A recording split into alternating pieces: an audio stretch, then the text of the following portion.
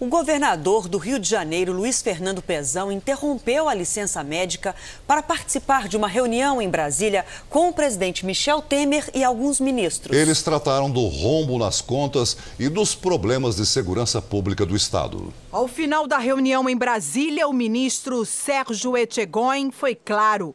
Não há notícias bombásticas, pirotécnicas, não é isso que nós buscamos.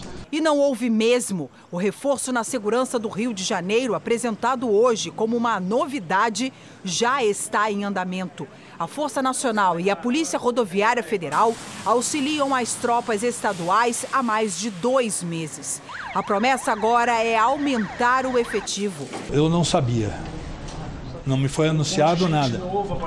Não, só tinha ido 200, só tinha ido 200 policiais da Força de Segurança Nacional. Para se encontrar com ministros e o presidente Michel Temer, o governador do Rio, Luiz Fernando Pezão, interrompeu a licença médica em um spa de luxo, onde pagava 14 mil reais por uma semana de tratamento contra o diabetes. Eu não fui para o spa, eu fui me internei numa clínica médica a urgência na tentativa de conter a crise.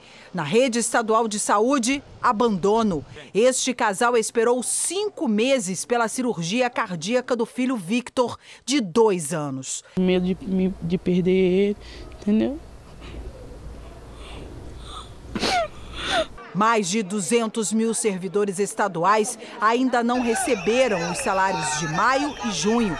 O governador espera contar com um empréstimo federal de 3 bilhões e meio de reais. A gente espera muito atualizar esses pagamentos dentro do mês de agosto. Diante da situação de penúria do Rio de Janeiro, o governo agora tem pressa. Quer agilizar o repasse do dinheiro aos cofres fluminenses. Para isso, Pesão negocia a venda de parte da Companhia de Águas e Esgotos ao BNDES.